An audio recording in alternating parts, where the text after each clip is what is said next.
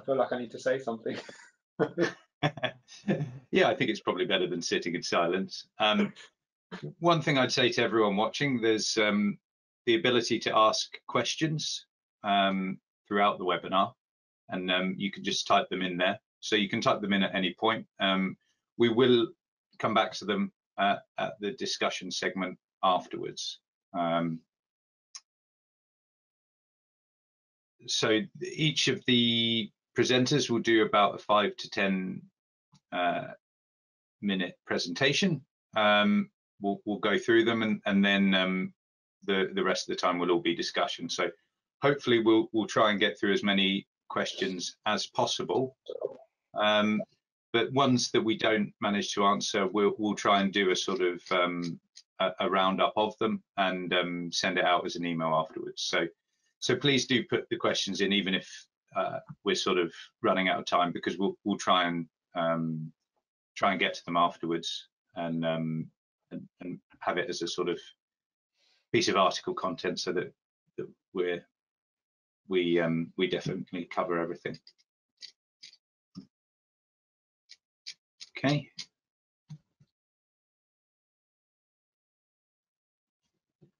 I think that's probably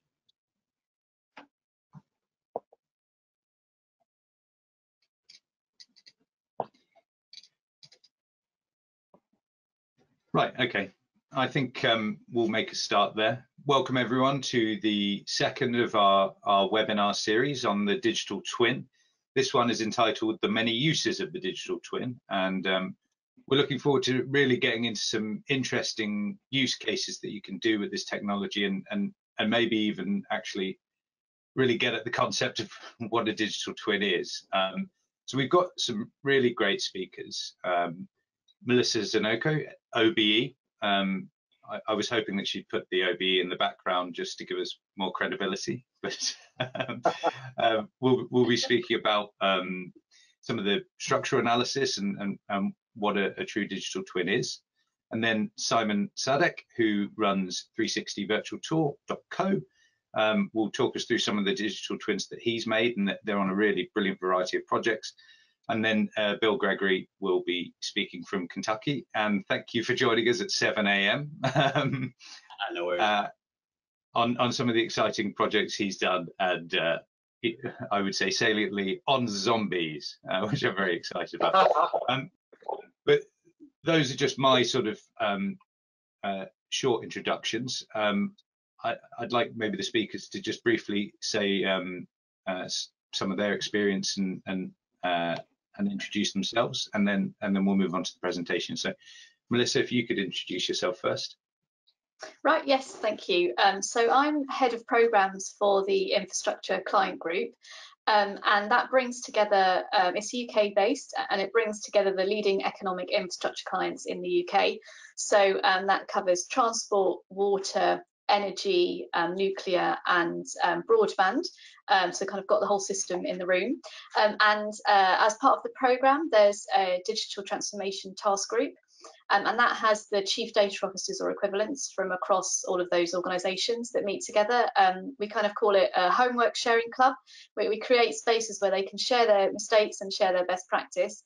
I'm also co-chair of the Digital Twin Hub Community Council, um, and also uh, on the Global Advisory Committee for the World Economic Forum Digital Twin Cities project. Wow, that's a fantastic range of experience, Melissa. Thanks for joining us. Um, and now Simon. Hi, uh, my name is Simon, Simon Sadek. So I'm a director of 360virtualtour.co and uh, I also run a number of other agencies, photography agencies as well. Um, thanks for having me. Uh, it's the first time I, am I'm, I'm doing this with you guys, so it's uh, great to be here and obviously with uh, with uh, lovely speakers that we have coming uh, with us as well. Um, so I run uh, the, uh, 360. So we do a lot of 360 photography, scanning, uh, modeling for clients. My clients range anything from government right through to retail, to uh, hotel chains, to museums and heritage as well. Heritage is, is a particular area that I'm uh, really kind of kind of become a passion really in the last uh, six months or so, which is great and fascinating as well, to be honest. For those that are uh, that are not aware of, on, of that space. Um, and tourist boards as well. So it's all about um, uh, creating 3D models, stuff on Google Street View as well. So I do quite a lot on, on that program uh, uh, as well. So to update Street View for clients um, and also for those clients that want things a little bit more private, off the grid a little bit, um, which we know there's there's there's scope for that as well. So yeah, excited to be on the panel, talking everything about digital twins. I, I from my experience in these different things in different people, different sectors. So yeah, looking forward to the talks. Thanks for having me. Thanks, Simon. Uh, and I think the heritage thing's really interesting. It's amazing how you can open up these brilliant spaces to so many more people through the digital twin. Um, and finally, Bill, um, from Kentucky. Um, if, if, you could say a few words about um, the, the fantastic stuff that you're getting up to. Uh, sure. Uh, good morning, everyone. I'm Bill Gregory. I am the uh, CEO of RSET, uh, the Rapid Synthetic Environment Tool, and uh, also founder of it. Uh, we've been doing this for a long time. My team and I, a bunch of like-minded nerds, decided to do a lot of scanning work sometime back. we've been um, We've done scanning in caves and underwater dives. We've and uh, we've done archaeology, and we started working for the military while uh, about 10 years ago. And I can get into more of that. We have more time, but uh, and decided that there were a lot of tools to make digital twins for people to uh, really have the time to enjoy them in their own way and not be locked in a certain system. So I'm happy to go over this uh, with everyone. Fantastic. Okay, so we're going to move on to the presentations now, um, and I'm just going to change the screen so that Melissa is presenting, and then um, we can we can hear all of her fantastic insights from all those um, varied uh, organisations that that uh, Melissa works for. Thanks, okay, Melissa. so the first thing is, can you see the screen? Is the first thing. Yes, the many uses of digital twins. Perfect. Good, good start. It's all going well. Okay. So um, yeah, so I'm I'm going to take us right out to the really big picture um, to talk about use. So I'm really going to focus on the part of the use of the digital twin um, because during COVID, um, the built environment got together um, to produce our vision for the built environment. Um, and this is the vision here. It's um, a vision where the uh, explicit purpose of the built environment is to enable people and nature to flourish together for generations. Um, and so when, when we're talking about the use case, for us the use of the digital twin is, is to get those outcomes for people and nature so that they can thrive together for generations. Um, and then um, the way that we do that, how do we get those outcomes, is that we need to acknowledge that the built and natural environments are kind of complex and interconnected systems, which I'm going to explain a bit more. Um, and so, uh, again, our use case for a digital twin should be how do we intervene better on that system, uh, the sort of the bigger picture. Uh, and then um, the understanding that um, if you put that together with the better outcomes and the systems, the bit that sits in the middle is the services. Um, so what I, uh, I think my other uh, amazing panelists are going to talk about in a sense is are those services, it's the services for people and for nature. Um, and that's the thing that connects the two. So I'm just going to very briefly just dive down into those uh, areas. So um, the outcome is um, at the centre of the built environment. So at the moment we do things like we build buildings or we have assets and that we do it in a siloed uh, way. Um, but actually the reason you're doing that is to actually um, improve um, outcomes for people and nature. And as you can see on this diagram here, it's showing that the use of that um, asset um, can go on for years and it can actually go on for hundreds or even thousands of years, um, but it's going to be over a long period. Um, and that period is longer than the period that it takes to build them. So again, if for like a use case, obviously it's great to use digital twins for um, construction and design and all the things you can see there. Um, but it's a real waste of the digital twin if it's not actually for the operation and maintenance as well. Um, and that's where you can get the biggest benefits. Um, and then on the right, what you can see there is that the outcomes, really, we should be able to see an alignment through to the UN Sustainable Development Goals. So the idea is that that person that's hammering the nail at the bottom, that's kind of at the project or program level, that they should see how they're helping to achieve community outcomes, how they're helping to achieve national outcomes, like, for example, net zero by 2050, and how that's hoping, helping to achieve the UN Sustainable Development Goals. Um, and so again, with your digital twin, the use case for it you know, how, how far can you align through that? And that, that's, that's what we should be really aiming for. Um, so then just explaining what we mean by the system of systems. So you've got the um, social infrastructure, which is like houses, hospitals, um, schools. Then you've got economic infrastructure, which is all the stuff in between it. So it's the transport, the water, the energy, etc. And they're all inextricably linked. But at the moment, we all kind of manage them individually, but they're actually all inextricably linked. And then in nature, everything's inextricably linked, and there's things like ecosystem services. And the built environment sits in the natural environment, and they're inextricably linked. And now we're starting to have cyber physical infrastructure, which I think you're going to hear about coming up, and they're all inextricably linked. So that together becomes the system of systems. And as I said before, it's the services in the middle. You don't need a, a, building, you need shelter. You don't need a bridge, you need to get from A to B. So that's really the use of a digital twin. We should be really aiming at that. Um, and the enablers you'll see here, amongst other things. So it's really important to remember that digital twins are just enablers and there's lots of other factors, but you'll see digital twins on there. So just as a reminder of what we mean by digital twin, is that um, you've got the uh, physical asset and they've been used a lot in uh, Formula One, which is why this is here. they were kind of the first. And there's data that comes from the physical asset and, and that goes into the digital model that you've got of it. Um, mm. But the reason it becomes a digital twin is if you then have it going back the other way with the interventions. So that data allows you to have insights. Those insights inform your decisions.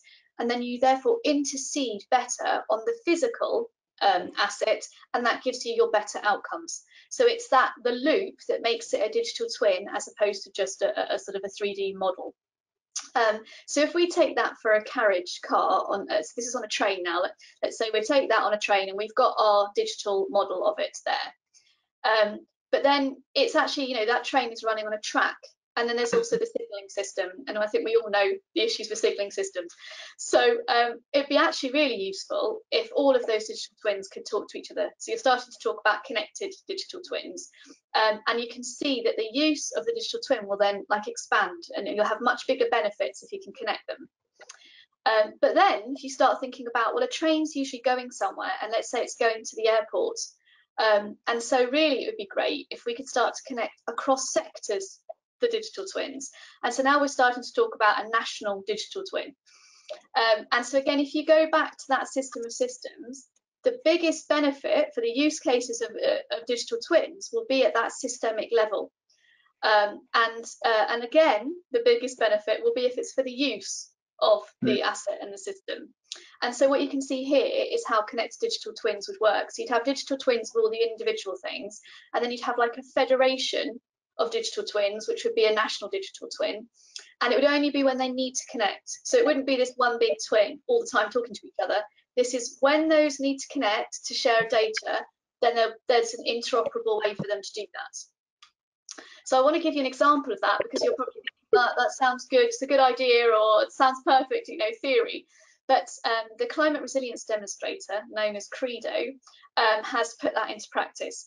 So it's taken a, a, global systemic challenge, which is climate change, and, and, the only way we're going to resolve that is with systemic thinking and with uh, connected digital twins.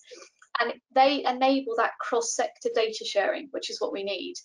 Um, and uh, so Anglian Water, uh, BT and UK Power Networks all shared their data that would usually be private um, in order to understand how they could better respond to the impacts of flooding, both preventative and, and after it's happened.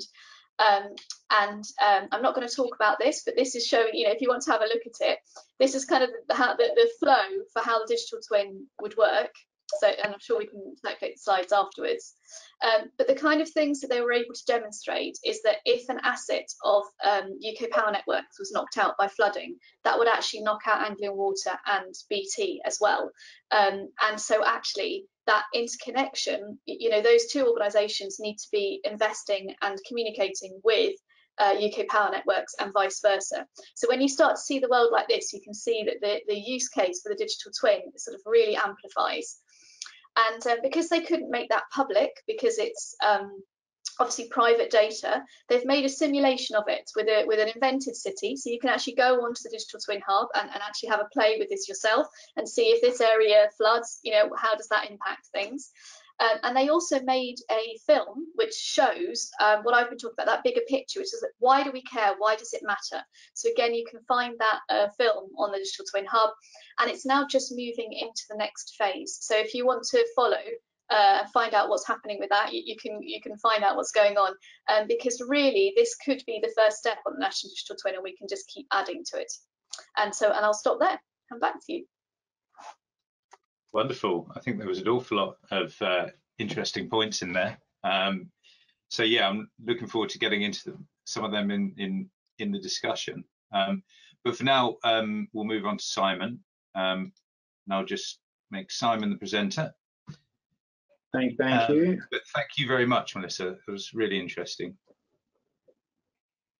Yeah, likewise. I mean, I've made some notes, to be honest, on some questions. Um, wow, is to begin with. Um, I think from what Melissa was saying, um, I, from my role and, and, what, what my what my um, what my company does is we create the digital twins uh, for clients. So if we can, uh, looking at what Melissa was put on there regarding um, the simulations and, and all of these old things that happen in the back end, right? That, that, that the average person wouldn't even probably even think of, right? Uh, but this is what what keeps things going. And I suppose from a digital tool perspective, what it means my world and, and for my clients. Um, I mean, let's touch on, on, on I'm going to start off with heritage, just because I love it, uh, and it's something that's that's been um, definitely uh, a request from my clients. It's uh, on the tourism board. I mean, I'm going to say post-COVID, if I can, if we can, if we can label that. I've definitely had requests from clients wanting to, as what can they do to increase tourism? And one of the areas that, that a lot of clients are, are, are thinking, are, are looking at is there's a lot of countries out there, UNESCO protected, sites, a lot of heritage archaeological sites that not many, uh, that's not really always shouted about in tourism. You know, it's always all, talking about all the, the, the, fun stuff and all the things, that, uh, the, the, hot sun, the beach and things like that. But there's a lot of other things uh, around heritage that, that, that, that, is available to tourists. And what we're now finding is as a result of doing these uh, 3D models, so this is using the Matterport system, uh, which a, a, lot of clients are definitely starting to come on board with, just because it's just it's easy to to use, it's straight to the point, it's visual, um, and to be honest, it, it looks great. Um, so I, I, do stuff quite a bit with the Matterport platform, but I also do a lot of stuff on Google. So I do a lot of Google Street View things, um, and, and, it's just pretty much um, the navigating or showing off a space in its truest form. So so when when in my world when we say 3D model, it's it's a it's a represent a digital representation of reality, and, and that can also be labeled as a digital twin. I mean, this is, for example, a, a lovely site over in in, in uh, a lovely sunny island. I'm obviously sunny; it's it's beachy island of Ibiza. Um, but Ibiza actually has quite a number of UNESCO sites. Which, when I mention this to people, around digitizing sites, the museum, the archaeological sites and used as a means of uh, boosting local tourism. As a result of this project, which we put all together into one nice 360 portal that you can see here. So there's one, two, four, six, there's eight sites across the island, which we put into one into one portal here. Um, and then the, um, the, Ibiza government and uh, the heritage uh, teams, archaeological teams, they've been sharing this globally.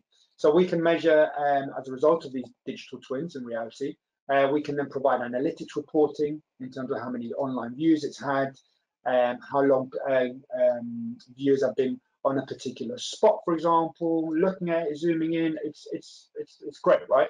Um, so this is pretty much uh, one of the main uses from a heritage space uh, sector, but also from a tourism, because it does also touch onto that space as well. So this is one of the ways that one of my the uh, that, that clients uh, are using it to increase tourism, to digitize, but also keep a digital archive. And I think that's pretty much what Melissa was touching on as well, is to have a digital representation of reality.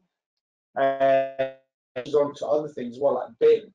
Uh, for those that, that, are familiar with BIM modeling, uh, so building, Matt, correct me, building information modeling, just to, just clarify, yeah, is that right? I'm getting, I'm getting there. Um, so that is then extracting further digital information from the digital twins that we create.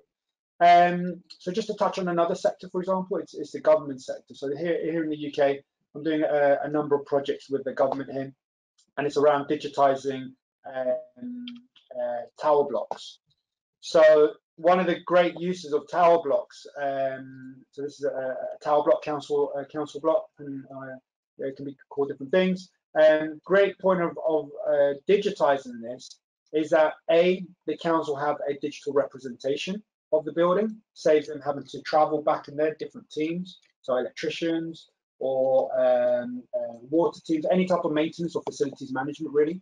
Um, they can use this, um, uh, they, they, can visit the, the, the, building virtually, which when you think about it in the grand scheme of things, you know, you can, uh, it's, it's, also a net carbon saving because it, it reduces the, the, element of, of traveling when, you know, why do they need to travel when they can see everything pretty much as if they're there. So um, this client has very, made very good uses of these hotspots. Uh, let me just uh, expand everything here. And then you can see a difference. So you've got the fire doors, um, sprinkler system, blah, blah, blah, blah, blah. So these are this is all information that at a facility management level, it's it's it's, it's golden really. Um, so you know this is the upper level there. You can see the electrical systems um, and boards. We're still um, uh, uh, constantly adding new asset tags. Asset tags being, you know, what is this? Um, so the client will give us a photo of what this would be inside, and we'll, we'll, we'll put a little bubble there, similar to what we have here. And then that gives just further information to the viewer. And again, the viewer can be uh, different um, different services, so electricians or uh, the water companies or, or, the lifts or the structure element, that type of thing. So as a great, uh, as a first visit, this a digital twin really is uh, in this case it speaks wonders. Um, and I think as well from what Melissa was uh, I keep keep yeah, coming back to you Melissa but because what the presentation that you used is just it's just it touches on so many things. From a fire safety perspective uh, and this is probably a question I have for you later on Melissa um, the, this digital twin of this block for example not only is it used for the council and the government level but also at the fire level. So the fire um, the fire teams and crews so if God forbid, they need to attend a, a, building, normally they would have access to some sort of floor plans. But how great would it be if they have access to the entire block uh, en route, or, uh, uh, you know, and they can visualize straight away the route. And then there's other things that we can touch onto that, such as wayfinding uh, into certain flats or areas of, of, the building. So many different elements, and all of that comes into that whole digitization uh, purpose. Um, I'll just touch on to, to a few other points there, and then um, I'll, I'll, pass on. This was another another uh, great building here. Over, if you haven't been there, recommend you visit. Um, oh, whoops. Um, so this is a, a, just an example of um, uh, of, of, a, of, a, 3D model, um, just to view the, the restaurant. So this is a private members club, um, but it also has I'm, I'm uh, they're very big with art. Um, so one of the things. What's that? It's, uh, it's just it's taking a slight um, second to, to load up. Um, I think one thing to say is that um, actually navigating around these models is very, very smooth, but because we're we're basically running it through GoToWebinar, it's a little bit jumpier than than the actual user experience would be. Um, sorry, Simon. No, no, no, no. Yeah, no, thanks, thanks for mentioning that. So, you know, there's there's other uses as well, especially now from a meta.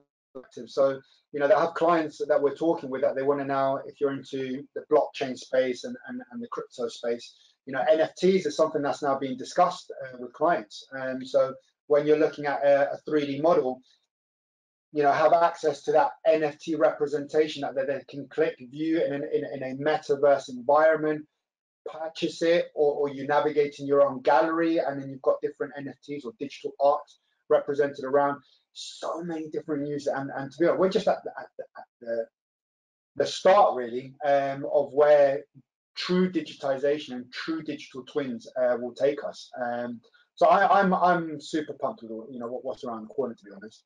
Um, we can share it, Matt, if you like afterwards, and, and feel free to share that with the audience.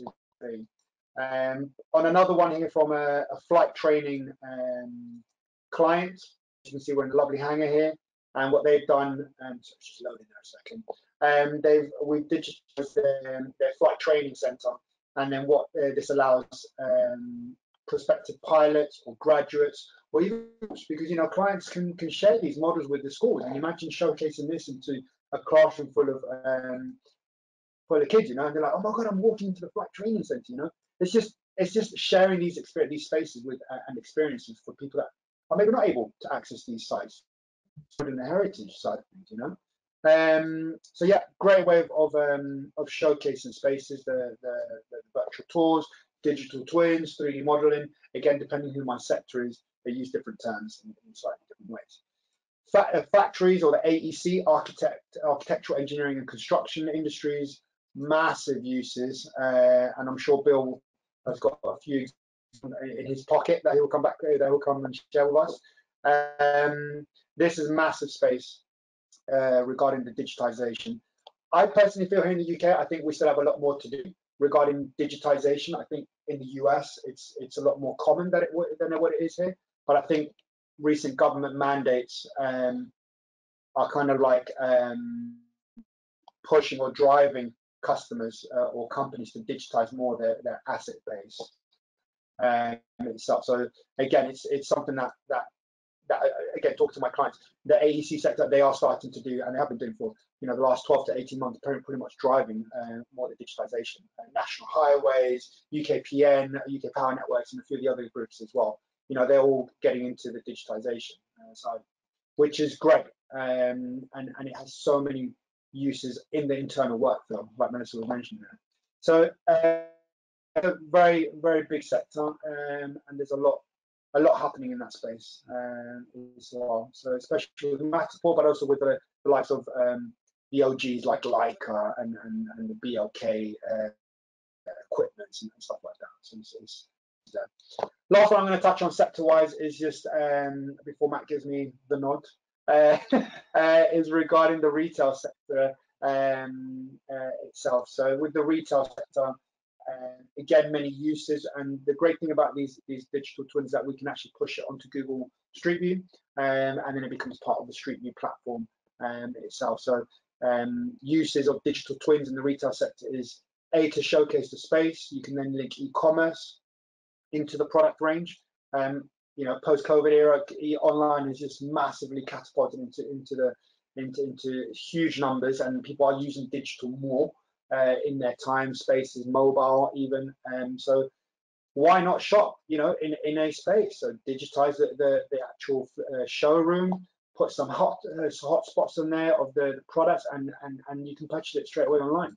Um, in this this client, which is Calvin Klein and, and uh, the Tommy Hilfiger group, you know, process of uh, already digitized pretty much the entire uh, asset um, showroom base here in the UK, and it's constantly refreshing with new concept stores and things like that. So they use this a lot more internally, more for their visual merchandising team. So then they keep their VM uh, practices consistent across all the stores. So what, what is done in London Regent Street, for example, by the VM team is replicated exactly by anyone else around the country as well. So yeah, a lot of different uses um, and it's it's uh, I, I mean I think with the time that we've got, it's, it's, it's going to be some interesting questions coming coming by.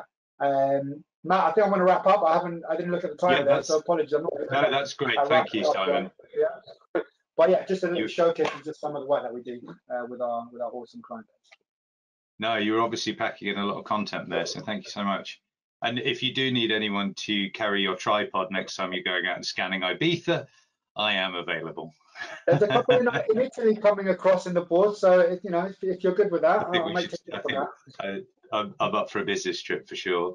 Um, ah, and, and, actually, it was it was interesting. You mentioned um, fire safety and, and and and mapping out that that large tower block because I think our next guest is definitely going to have something interesting to say on that. Um, from all of Bill's work with fire brigades and first responders and the military, I think um, there's there's there's there's definitely something interesting there. So, um, Bill, I'll let you take over. Uh, thank you. Uh, just to follow back up in case somebody joined uh, later, my name is Bill Gregory.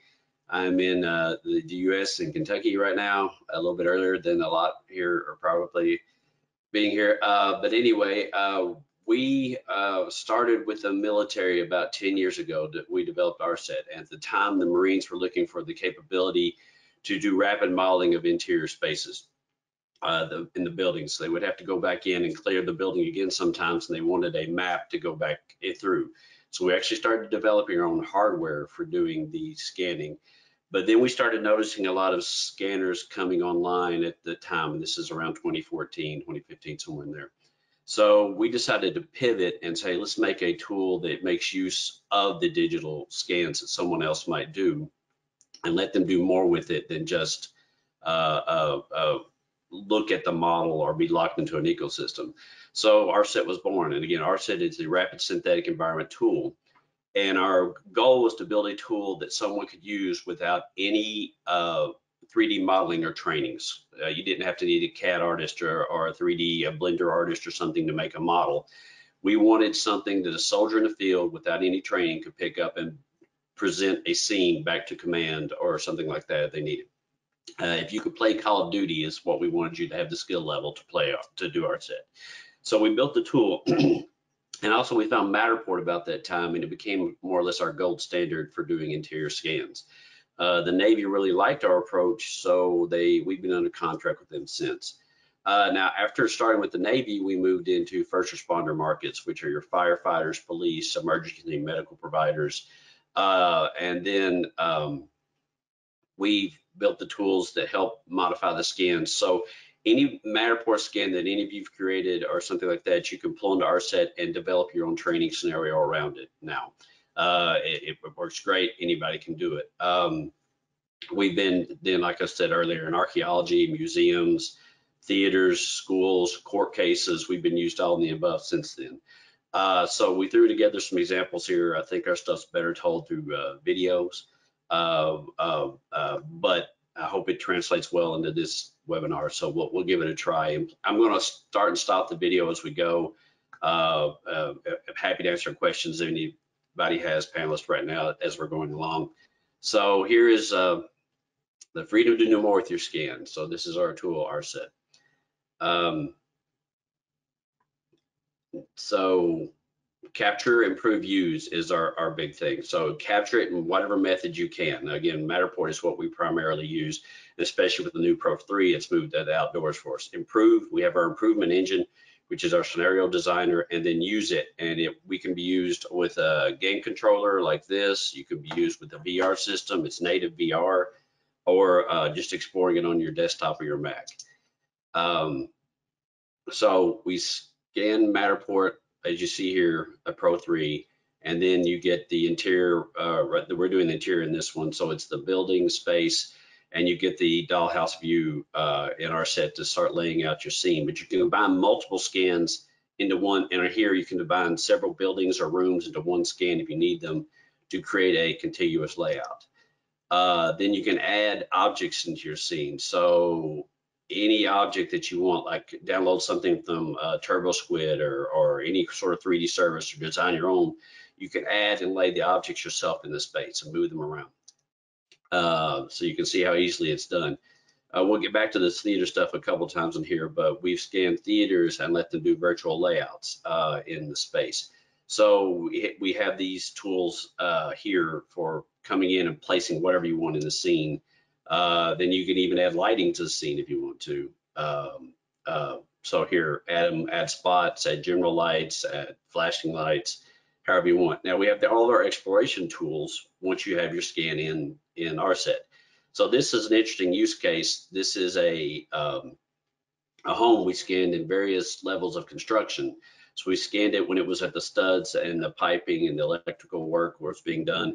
And then we came back later and scanned it with uh, uh, once the drywall was in place and we can use our opacity tool to go back into that space and turn down the outer layer and see what was underneath. So you could go back in after construction and find piping and stuff in the building or studs.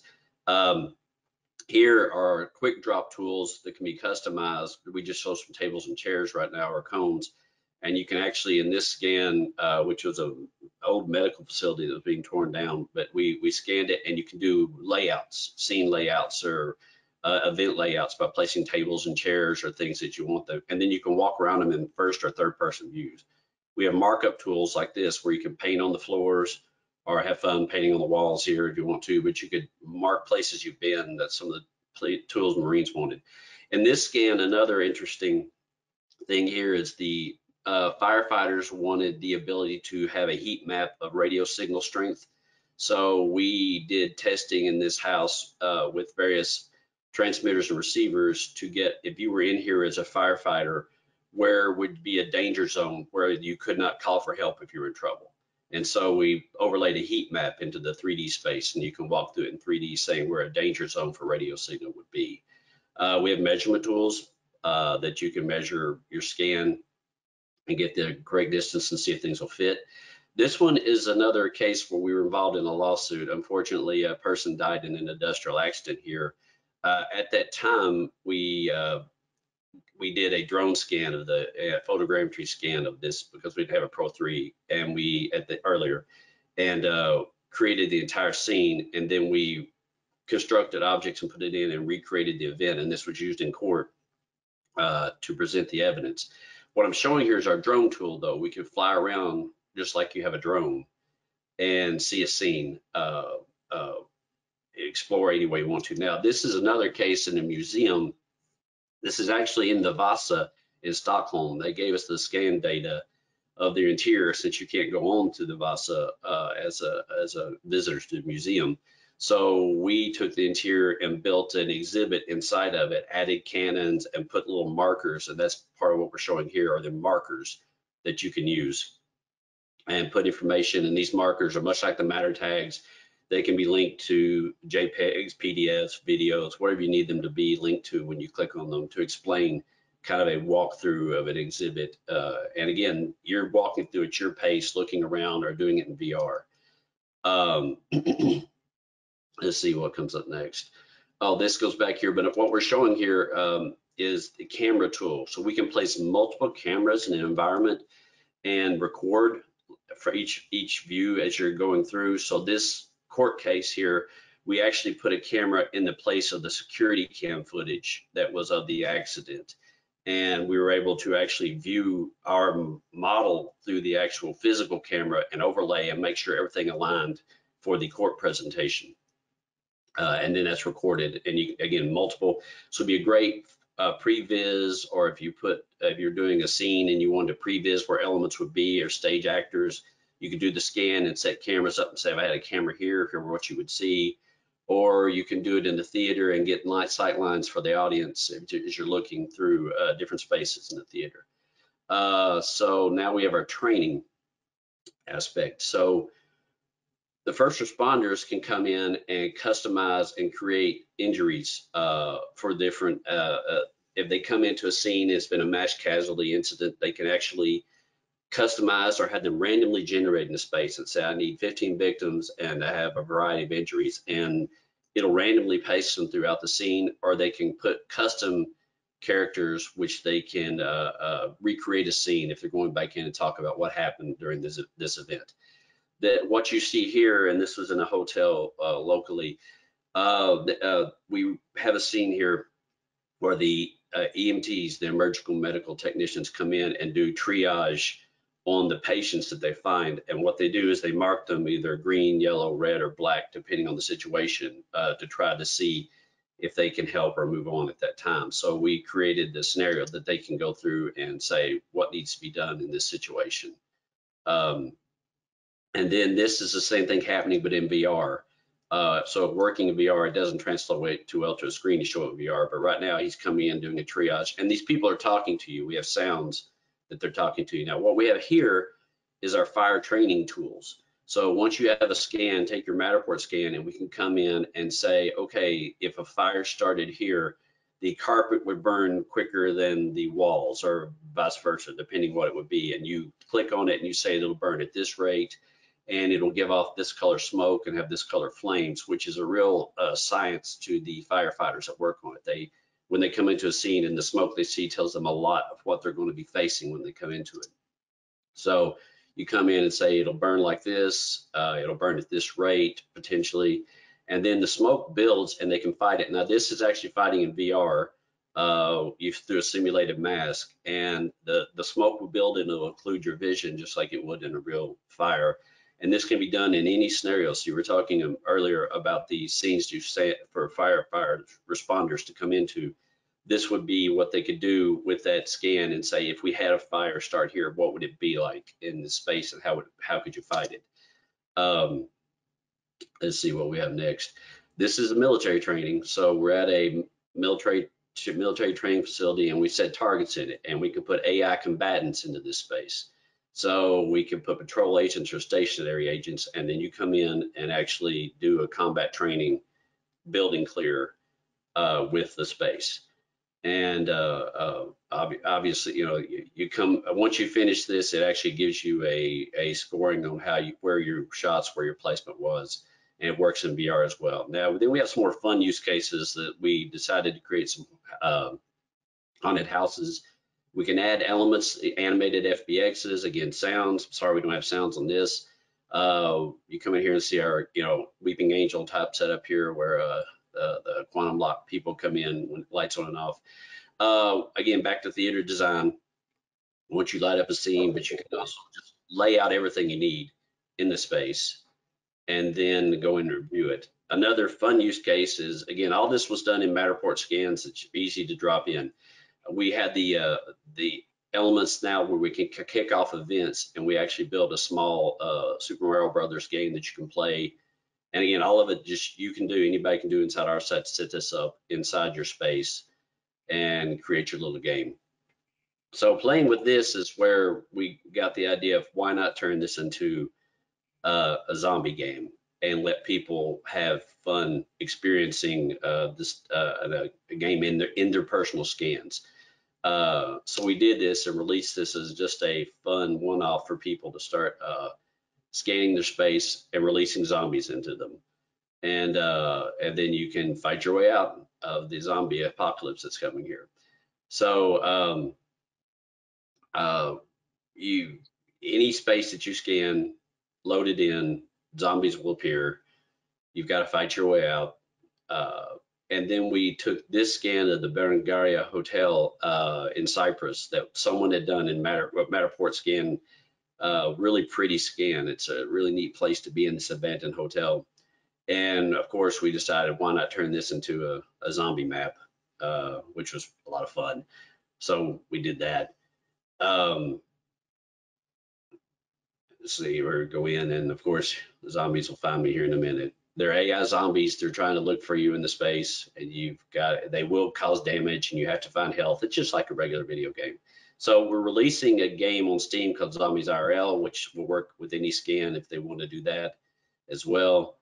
Um, so that's a general overview and a quick preview here of what's coming up next is merry matter pack. We have a christmas game we're going to release here uh, for the 12 days of christmas for uh, uh, letting you find presents and deliver them to, back to Santa where they were lost in your scans. So Matt, that's that's that, that, that's absolutely fantastic, Bill. I, a lot of really interesting and and super fun stuff as well. Um, right, it's my presentation, and we're we're at sort of quarter two, so I'm going to try and be as quick as possible, and then we'll we'll move on to the discussion. Um, can everyone see my screen? Yep. Yeah. Yes. Okay. Um, so uh, really just going back over what Melissa said, you know, it's it's a, about um, capturing uh, and, and, and digitizing and then the link backwards. Um, so there are absolutely loads of use cases and I, if you want to explore more, I'd say go to the matterport.com forward slash case studies. They've got so many on there, and that's just Matterport. There are so many other, you know, sensors and things that you can use to create digital twins. But it, I think if you want to start thinking about some of the use cases that, I mean, obviously we've explored loads here, but th there's even more um, there. Um, I won't go go through them. Um, so you can zoom in and out depending on what sort of digital twin use you're at you know whether it's a house and, and trying to to to think about uh, what to do in the zombie apocalypse or um, you know the real apocalypse that might be coming our way of climate change. Um, uh, and this is a website where you can sort of basically model what happens when you increase um, sea level. Um, this is effectively the same infographic that Melissa had, but um, it's it's from the RICS, and um, I wanted to give a shout out to um, Dr. Anil Sawhney, who who did our last webinar, um, and he literally wrote a book on um, uh, digital twins for for the RICS. So if you if you missed that webinar, we have it on our um, YouTube channel. So do do catch up on that. But the key point that Melissa got across far better than than than uh, I need to is is that it's a two-way process. You know, you use the the models to change and improve stuff in the real world. Um, and here is um, a little example of me using a different sensor. It's ground penetrating radar um, in the UK's most expensive building. Anyone got a guess? Bank of England. Um, yes, so we are we're mapping out some some heating pipes in the ceiling. I know it's a it's a, a pretty ordinary looking room, but we're using the AR functionality to um, to to to map those GPR scans. Now, I I think you know with the, the sort of work that Bill's done, where you can bring up the opacity and you can um, you can see through walls because of what happened before. I think we're not far away from also being able to project things like scans into those digital twins, and and you can you can then do an as-built comparison where you you look back and you can see where the rebar is according to the scanner, and you can see where it, where it was put in, and then we can diagnose faults and, and see where they happened. You know, if the rebar is too far, too close to the surface and the, the concrete starts corroding, that sort of thing, we can see exactly along and and and we can also incorporate as built surveys into that. So it's um, back to what Melissa was saying, it's, it's um, the, the, golden thread. Um, and this is an excerpt from the Grenfell report, um, which shows really why it's so serious that we, we, we do want to document and create this golden thread for buildings and we can see exactly the processes that led to them and we can go back um, and, and try and do things better. Um, so that really is is is the the the end of my presentation um, and I'd like to move on to um, uh, have I done that right? If I put put my screen back on. Um, Right, we should we should just be back with the panel now, um, and I have some some questions that that we can we can put to you. So, what are the key steps when creating a built environment? I guess is that a digital built environment or just the built environment in general? um, just just to say, Matt, I'm afraid your screen. Well, for me, your screen is still showing. I'm not sure if it is still showing. Okay. Yeah. Thank you. Um, is it gone now? Ah, oh, there we go. Stop sharing, sharing screen. It was all going so well until then, wasn't it? Um, I was going to say. I'm guessing. I'm guessing that question is directed at me. I'm guessing. I think so. Yeah. Yeah. So um, yeah, so, so the, the thing I didn't have time, obviously all of us had a bit of a whistle stop in, in each of our prep. We could probably each have been an hour or more uh, for each of our ones. Um, so I think that the, the key thing that underpins uh, a national digital twin um, would be an information management framework um, because really everything that we're talking about, and I think all the visuals show is, is data. So really, in the most basic thing, you don't actually, all, all this WYSI stuff we've just seen doesn't actually have to be all that WYSI stuff. It can just be the data about a thing. So, so you could actually define digital twin as just saying the data of the, the physical asset. Um, and then if you want to be able to connect the data, then um, it's got to be interoperable. So, um, and what we could do is we could have everybody um, do it their own way um, and then sort of have APIs and, and, and uh, you know, just be very, very expensive and make it very, very difficult, which is the way we do things at the moment. Um, so really, if we were going to do it, because we've got a blank sheet of paper and we're doing it from scratch, and as you've probably seen, the construction industry, I would say, is, is very behind. Some of the amazing stuff you've seen going on in other sectors, I'd say we're not quite up to, to that speed um, would be to set up um, an information management framework. And all that would really be is almost saying the rules of the game so that we can all play. So you can still compete and play in the game, but you've got the rules of the game and, and everybody knows how they're playing. Um, and so that, that would be the thing that would underpin it. And then the second thing I would say is, is that just to reinforce what I said before, is that we're not talking about one giant simulation of the whole of the built environment in the UK. So that's not what it means. It doesn't mean that those things you've just seen presented, that you'd be able to do that across the whole of the UK for any asset, anywhere, at any time. It's not that. It is very much that everybody has their own digital twin in whatever form they've done it. But if it's within this information management framework, it's interoperable, and then you connect when required. So for example, with the buses, um, now we're able to know when a bus is arriving and you need that in real time. So you can now look up and see, okay, the next bus is coming in three minutes. And that's because of data that's coming from the bus itself. And then if it gets stuck in traffic, you've got real time update. so that's really important. If it's like maintenance of a pipe underneath the ground, it could be that they need that weekly or monthly or, you know, I don't know how often. So then it would be a waste if you were having real time continuous data um, coming from it. It would be a waste of the resource of a person sort of monitoring all this or the waste of the actual sort of technology. So, so it would, it would only be connecting when it needs to be connected. So those are the two things I would say is one is that it's a federation of digital twins that connect when need to be. And the thing that's enabling that is an information management framework, which means that they can connect without having to have what are called translators in between them. Perfect. Um, Next question is, will 3D scans eventually replace retail or help with building versions of them in the metaverse? I think that's probably Simon. that's a good question. I had a feeling something like that would come up. Um, will it replace? Not anytime soon, I don't think. Um, I think there's a big drive to digitize everything and everything has to be online to be honest, we've all been using digital quite, you know, for quite a while. I mean, just think about your mobile. You know, everything is pretty much done in your mobile. That is a form of, you know, that is digital. Um, will will shops disappear? I think. I mean, all we need to look at stats. You know, uh, high street fit, um, footfall numbers have reduced, um, and they've reduced for a number of, of, of different factors. Um, is it because people don't like shopping? No because at the same time, digital shopping figures have, have massively increased. I mean, the, the Black Friday and Cyber Monday uh, figures I don't think have come out yet, so that'll be interesting to see what that is in comparison to previous years.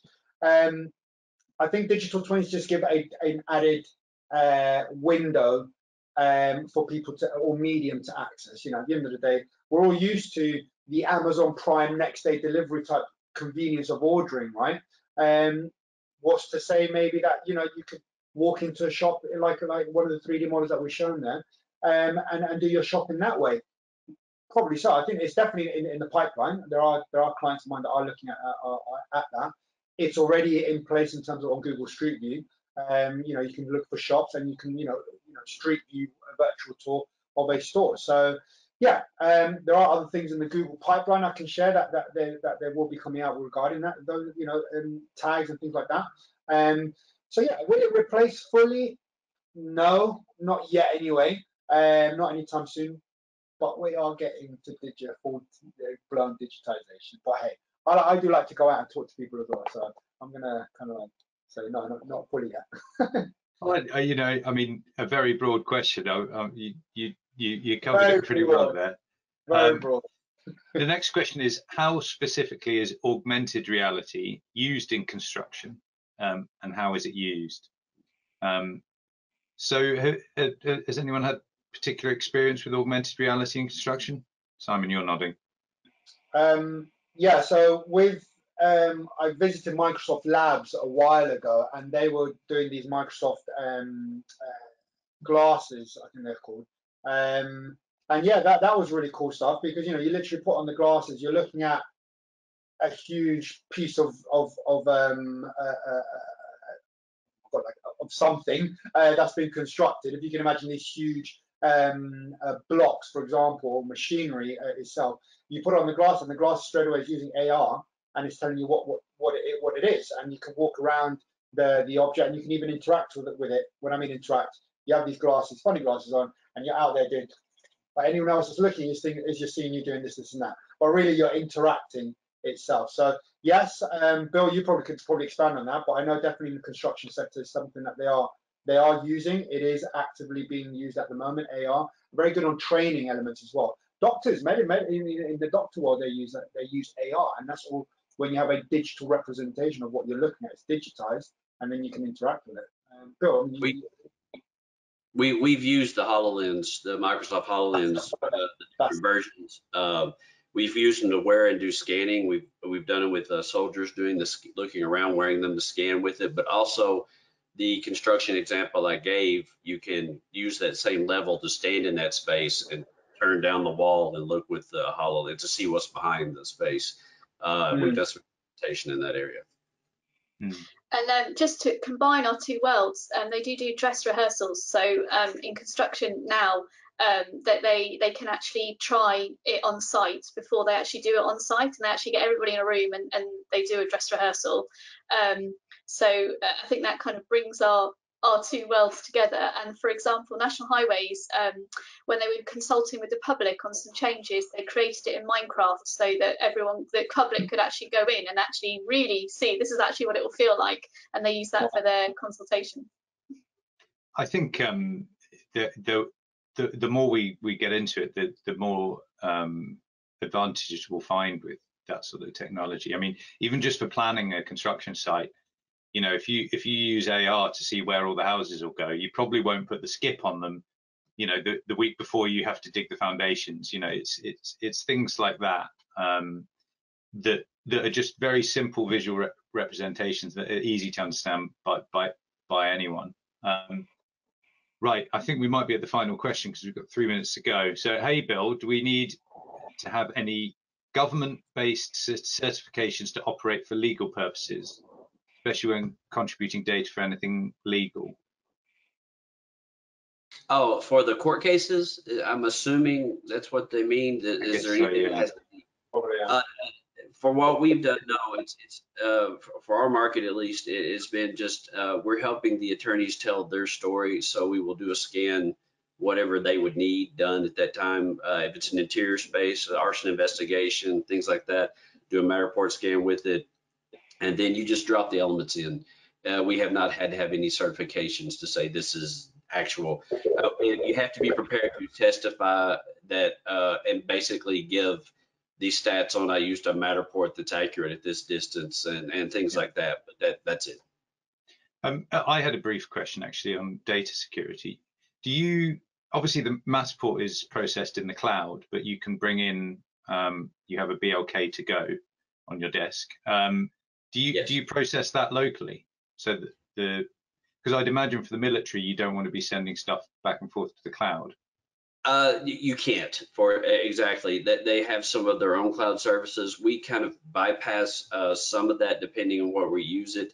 Uh, we, we've done we've done some cloud processing from the BLK to go and the Leica scanners, but on the uh, the, the Matter, Matterport is working with the military to have some of its own cloud type stuff. Uh, also, the things that are more sensitive, we will do local processing on. Not with the Matterport yet, that's not available, but for uh, the the BLK, the lidar stuff like that, you can actually do local conversion to mesh. And, and I would just add that um, it's the other stuff. uh, One of my slides, I said it's not just about digital twins, and it's the other stuff is just as important. And sometimes the digital stuff is the easy bit, and it's the things like the legal agreements around data sharing. On Credo, I think it took about five months, uh, and and that's nothing to do with the, the digital twin or, or, or the digitalization. Yeah, and it's the same with um, mapping out our utilities network and, and and sharing where everything is underground. You know, it, it's obviously a great win for us all if we can share that, um, but it, I think it's uh, it's, on, it's on tough that, to get the agreements. Oh, sorry, sorry, I was there, on. sorry. No, I was just going to say, like, I think the whole digital twin term is definitely being thrown around everywhere, different sectors and things like that. But when you think about it, electric cars, if you look at a Tesla with the autopilots, uh, or if you have a Mercedes, for example, or or some of the cars, when you open up your, when you do a rear view, going to, you know, reverse, you get a camera, right? You sometimes get an aerial view, uh, which would, for those Matterport users, they call it, oh, it's, a, it's just like an aerial uh, dollhouse looking thing. It's all kind of, the tech is there already, and it's already right in front of us when you think about it.